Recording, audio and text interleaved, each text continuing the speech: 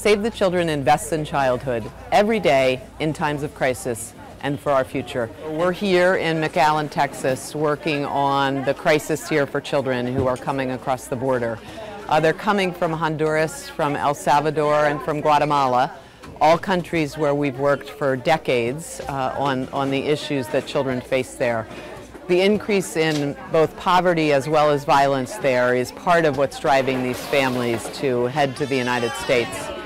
But the most important thing that we're doing here in Texas is making sure that kids really get the basic things they need. They get uh, a place to sleep, they get some food, they get some hygiene items, uh, and they have a safe place to be. And particularly for kids in these kind of emergencies, being able to just be kids is so important. And that's what our child-friendly space, which is right behind me, is really all about a chance to just be children, if only for a few hours uh, out of the day, given the horrendous crisis that they're in uh, in their lives right now.